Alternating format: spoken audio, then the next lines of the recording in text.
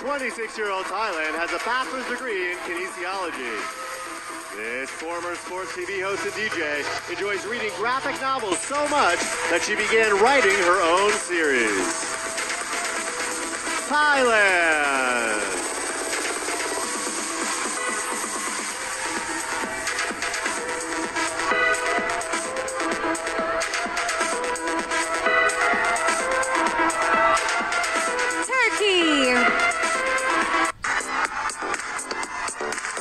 Thailand started the We Are One campaign, promoting inclusivity for underprivileged children through sports, art, and music.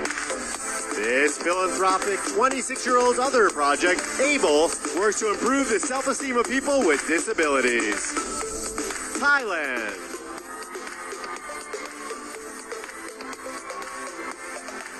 Turkey.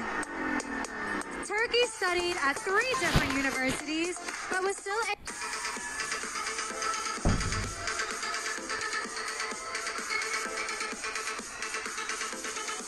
All right.